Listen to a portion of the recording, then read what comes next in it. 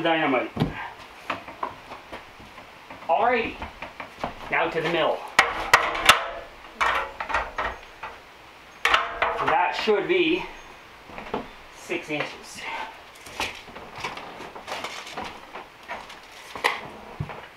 Right on six inches. Okay, let's go. All right, folks, so we found some 2x6 laying around, but we do need a few more, so we're gonna mill just a few and then we're gonna get that door in as soon as we can.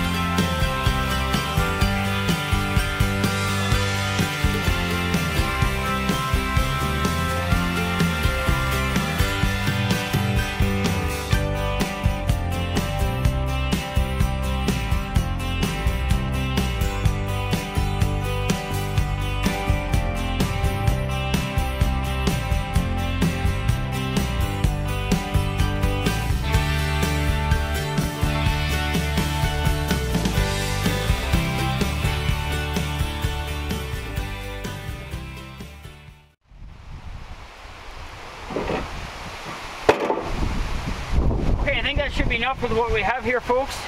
Um, we may not even need those, but if we do, they're there anyways. So we're gonna go get that door frame and see what we can do.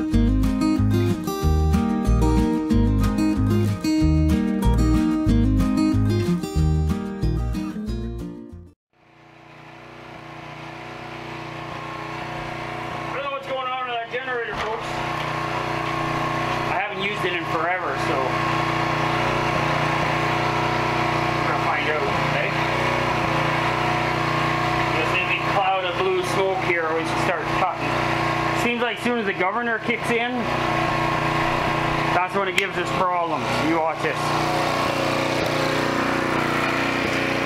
Watch this.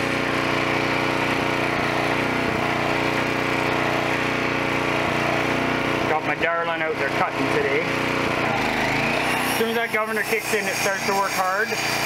Gonna do it here. Oh no, it did. Yeah, there it goes, see? The governor dropped down. And emerging from the smoke is Miss Heather. I said, and emerging from the smoke is Miss Heather.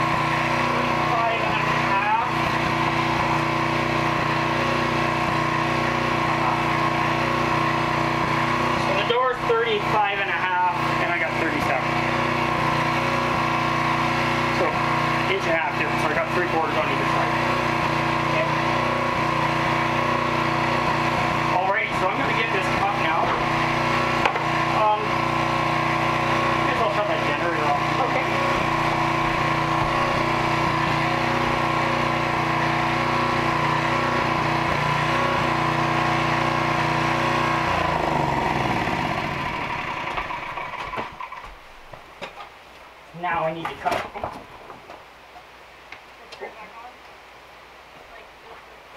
Oh, you it like that. Yeah, turn the switch on.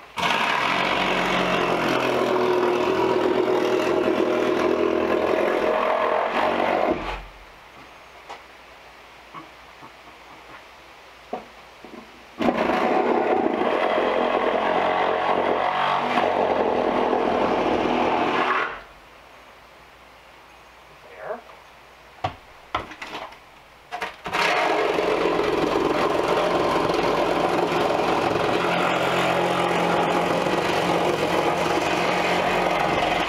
That'll get, cut more than that, of course, but for now, it'll be good. Now I have to cut this out of the way here.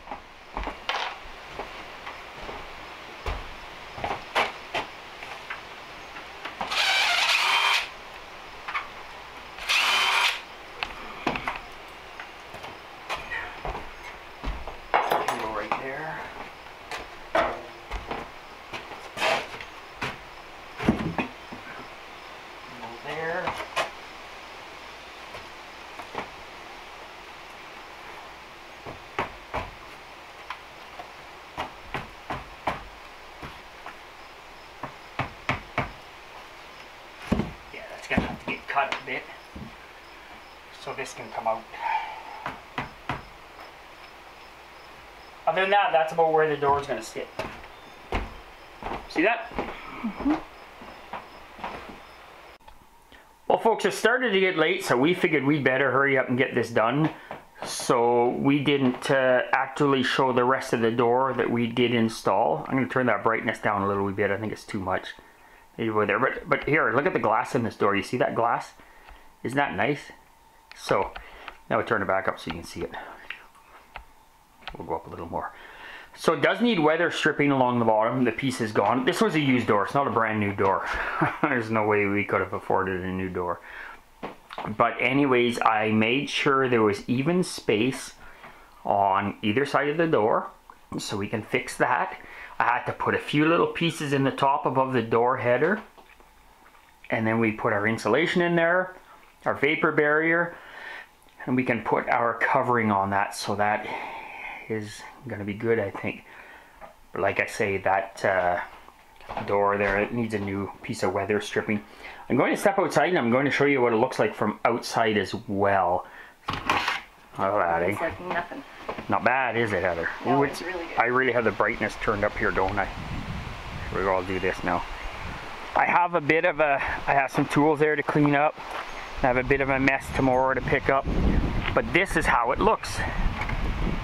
I removed that little side window that was on the side there and the old door it was just a single pane it was an old used door we got a long time ago this one's a used one as well but now I'm not gonna I'm not gonna sheet the inside in very right now because I want to put some lights on the other side and an electrical outlet down there so I can use it outside if I ever have to because it's uh, not so great when we go to uh, do something outside and we have to run an extension cord through and leave the door open. So I will install an outside outlet. Anyways, I just wanted to give you a quick view of how that looked. Um, also did something else out here too last night. Look at this, folks. I have this bank just about all gone now. Eventually want to get rid of this whole bank out here on the right. Try not to shake the camera too much. If I do, I'm sorry, folks. So that's how that's looking. I've dug in there. I got that just about all. There's, there's a little section over here now. Now front we started burning the brush. I'll show you. Look at that. It's starting to look a little better, I think. A lot better, in fact. So these are some of the things I really wanted to get done, folks, before I got on the pole barn. I wanted to get that door changed. I want to get some outside lights hooked up. I want to get an outside receptacle and I want to try to paw through some of this and get some of this gone because I don't want to be traveling too close to the right because that's where our water line goes. So that's one of the reasons why I uh, wanted to get this all cleaned up so we're not running near our water line too much this winter. This is what it's looking like out here. Lots of good topsoil in there, I'll tell you. They'll just walk right around in a circle. How's that, folks? Hey, look at that. That is some really good topsoil. That'll be really good in the garden. And I can use some of it to, to landscape a little bit here. So, not much left to go there. We'll burn that all. We'll pull that out and burn it. We already started burning some right there. We burnt a bunch there, and that's some new stuff to go on another fire. But anyways, that's probably it for this evening, folks. I just wanted to show you how that door turned out. It was getting late. It's probably around, oh, it's probably around 8 o'clock now, quarter after 8. And I wanted to get that door done as fast as I could, so that's why I shut the camera off and just got to her. So it was nice. I tell you, it sure is nice having your own sawmill. You need a board, you need some lumber, you just fire that up. You got enough lumber to do whatever you need as long as you have the logs on hand. So, anyways, you folks take care, and uh, we'll talk at you another time, folks. Bye bye, all.